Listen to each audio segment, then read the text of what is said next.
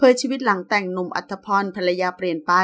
หนุ่มอัตพรทีมากรอดีตพระเอกมาร์ทเข้ม ที่ผันตัวเป็นผู้กำกับชื่อดัง ควงอดีตดาราสาวฝ้ายภรรยามาเปิดชีวิตครอบครัว หลังมีทายาทน่ารักสองหนุ่มน้อย น้องอันดากับน้องอดัม ที่งานนี้หลังแต่งสาวฝ้ายก็อวบขึ้น แต่ทางด้านสามีกลับชื่นชมในตัวภรรยาหนักมาก โดยหนุ่มเผยว่าการเปลี่ยนแปลงหลังแต่งงานเรื่องเที่ยวสังคมเพื่อนปาร์ตี้ทิ้งหมดเลย เลี้ยงลูก เราใช้ความรู้สึก สัญชาตญาณถึงเวลาอะไรควรอะไรไม่ควร มันจะบอกเราเอง ส่วนชีวิตพลิกผันหลังมีครอบครัวของฝ้ายจากเคยติดเพื่อนมีครอบครัวแล้ว เราต้องเลือกครอบครัว เพื่อนจะมาหาต้องมาที่บ้าน หรือนัดกินข้าวก็ต้องมาแถวบ้านเท่านั้น เราไม่เคยคิดว่าแต่งงานกับพี่หนุ่มเร็วไป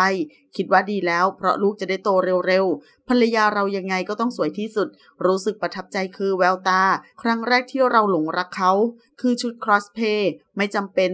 การกระชับรักคือใช้ชีวิตอยู่ด้วยกันเยอะๆ ซาไฟบอกว่าเคยหน่ายกับนิสัยหึงของสามี ตอนนี้ก็มีบ้างเป็นระยะระยะ ตอนเกิดเรื่องเราก็คุยกันไปแต่ละครั้งเคลียร์กันไปหมดแล้ว มันไม่ใช่เรื่องใหญ่ขนาดนั้นไม่ต้องหึงไม่ต้องหวง ภรรยาสวยมากทุกวันนี้ก็อ้วนมาก ไม่เคยบริหารเสน่ห์ตัวเอง ไม่เคยใส่สายเดียว นับวันยิ่งแต่งตัวไม่ดีลงไปเรื่อยๆ ทุกวันนี้ไม่เคยแต่งตัวเลยด้วยซ้ำหนุ่มบอกว่าถ้าจะให้ภรรยาผอม ก็เพื่อสุขภาพดีกว่า เขามีเรื่องของสุขภาพเรื่องนั้นมากกว่า ขอขอบคุณข้อมูลจาก socialnewupdate.com ขอบคุณค่ะ